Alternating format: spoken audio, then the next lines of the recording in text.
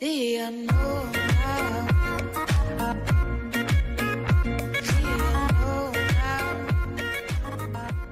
कोई डायरेक्टर कोई चैप्टर लिख दे बॉलीवुड से कोई डायरेक्टर जब कोई चैप्टर लिख दे तो क्या होगा? फिल्मी अंदाज आएगा वेलकम बैक टू बैक मैं हूँ अजीत मिश्रा आपके साथ। और आज बताने जा रहा हूँ एक ऐसे चैप्टर के कुछ इंपोर्टेंट क्वेश्चन पे बहुत इंपॉर्टेंट चैप्टर है, होली चैप्टर नंबर नाइन जो इस बार बोर्ड में आने वाला है, इसके लॉन्ग क्वेश्चन बहुत आते हैं, और शॉर्ट भी। तो ये चैप्टर खाली जाने वाला नहीं है, बिल्कुल इसके लॉन्ग क्वेश्चन पे बात करेंगे। क्यों मैं कह रहा हूँ कि बॉलीवुड से बॉलीवुड से डेफिनेटली लिखा गया है के ए अब्बास साहब के द्वारा, जो ख्वाजा अहमद अब्बास। ये 70s और 80s में डायरेक्टर थे फ़िल्म डायरेक्टर इनके फ़िल्म फ़िल्म में मेरा नाम जोकर आपने ज़रूर सुना होगा बड़ी फ़ेमस फ़िल्म थी, और साथ हिंदुस्तानी जिसमें अमिताभ बच्चन भी थे। मेरा नाम जोकर, राज कपूर, और कई फ़ेमस फ़िल्में बॉबी फ़िल्म जो ऋषि कपूर साहब की थी उसमें भी इन्होंने काम किया। तो के अब्बास साहब, ऐसे चैप्टर लिखने वाले, ऐसे डायरेक्टर ने जब चैप्टर लिखा तो उसमें भी थोड़ी सी बॉलीवुड की कहानी में बॉलीवुड की झलक आई। मैंने इसकी वीडियो भी डाली हुई है।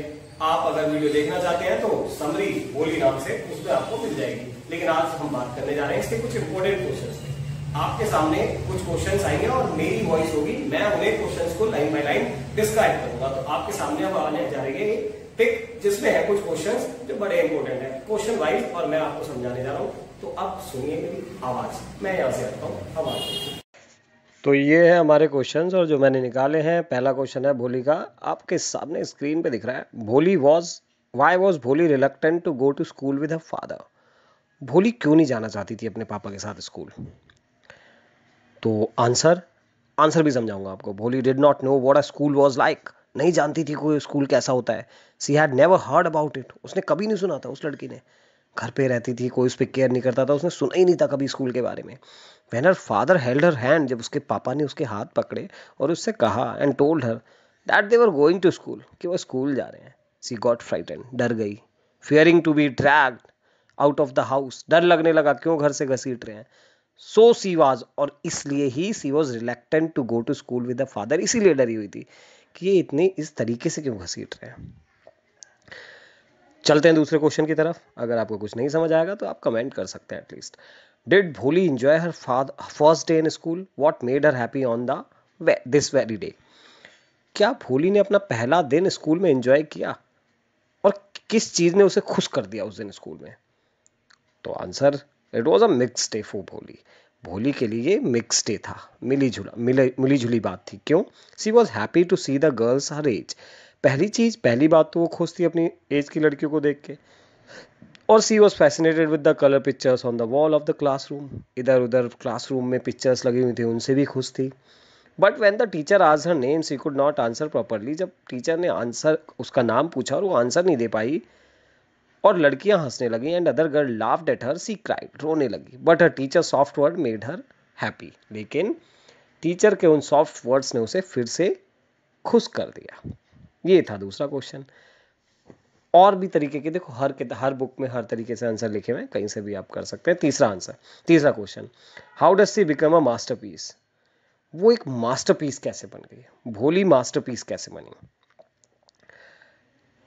सो आंसर है टीचर ने बनाया masterpiece the teacher transformed transformed a simpleton girl into a well behaved and confident girl teacher ने बिल्कुल उस सिंपल सी लड़की को वेल बिहेव्ड कॉन्फिडेंट लड़की बना दिया था. Bholi was a foolish and stammering girl Bholi एक फूलिश और हकलाने वाली लड़की थी. Teacher put in all her hard work teacher ने पूरा हार्डवर्क लगा दिया, पूरी मेहनत लगा दी इन ट्रांसफॉर्मिंग हर उसे बदलने के लिए इन टू अ मेंटली स्ट्रॉन्ग और एजुकेटेड गर्ल में। It was really a masterpiece for of the teacher और सच में वो मास्टर पीस थी उस टीचर का।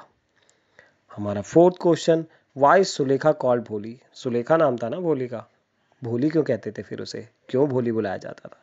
तो आंसर है, Sulekha is called Bholi because she is a simpleton Sulekha को भोली इसलिए कहा जाता था क्योंकि बड़ी सिंपल रहती थी।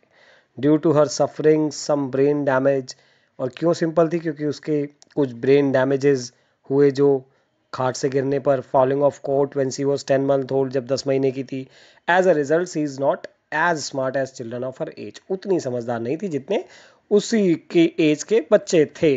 तो फिफ्थ क्वेश्चन ये 2013 में पेपर में भी आया हुआ है fifth why did Bishamber's marriage with Bholi not take place Bishamber की जो शादी थी, वो हालाँकि पूरी क्यों नहीं? क्यों नहीं हुई भोली से? जब तय हो गया था, सब कुछ हो गया था, क्यों नहीं हुई?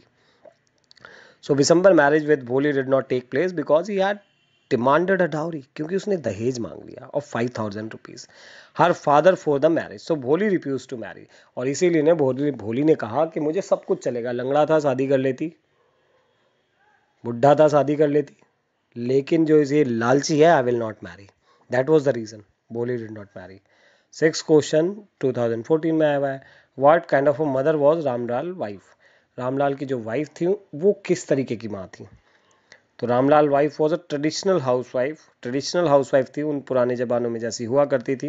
वो believe that daughters should not be educated जो ये विश्वास करती थी कि लड़कियों को पढ़ाया नहीं जाना चाहिए। As it would be difficult to find hands husband for them क्योंकि अगर पढ़ लेंगी तो शादी कौन करेगा उनसे? पुराने ज़माने की थिंकिंग थी। She neglected looking after her Bholi because he was a slow learner और भोली पे तो ध्यान देना, इसलिए छोड़ दिया था उन्होंने, क्योंकि स्लो लर्नर थी। सेवन्थ क्वेश्चन आपको खुद आंसर बताना है, मुझे कमेंट में लिख के बताना है कि इसका आंसर क्या होगा। Comment on the title of the story. इस टाइटल, इस स्टोरी के टाइटल पे कमेंट करिए कि क्या टाइटल है इस स्टोरी का। ये है हमारे सात शॉर्ट क्वेश्चंस जिस पे आपको देने हैं जवाब और आपको बताना है कि इनके इन, इनके सेवन्थ क्वेश्चन को आपको बताना है। और लॉन्ग क्वेश्चन लॉन्ग क्वेश्चन मैंने एक निकाला हुआ है।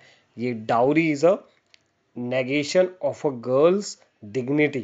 Discuss with the reference to the story Bholi ये जो स्टोरी है हमारी भोली उसके रेफरेंस से डिस्कस करिए कि जो डाउरी है वो कैसे लड़कियों की डिग्निटी को सम्मान को ठेस पहुंचाती है। इसका आंसर लिखा हुआ है। पढ़िए नहीं समझ आता। I will make you understand her chapter के इसी तरीके के क्वेश्चन हम लाते रहेंगे आपके लिए। सो so, फिर से अब बारी आ गई है फिर से आपको मेरे से मिलने की। अब आऊँगा मैं खुद। अब ये पिक्चरें हटेंगी और ये रहा मैं आपके सामने। तो ये था हमारा चैप्टर बोली और बोली के इंपॉर्टेंट क्वेश्चन आंसर और वीडियोस के लिए आपको देखना पड़ेगा मैथ तो कीप वॉचिंग मैथ और बहुत सारी वीडियोस अब मैंने जब प्रॉमिस कर दिया है तो कर ही दिया हमारे जाएँगे नहीं कहीं आपको जोड़ के सारे क्वेश्चन लाइक सब्सक्राइब ये सब कोई बात नहीं अपना फ़ायदा कीजिए। अगर आपको देखना है so if you are getting benefit comment करें यस बेनिफिट हो रहा है। So keep watching good bye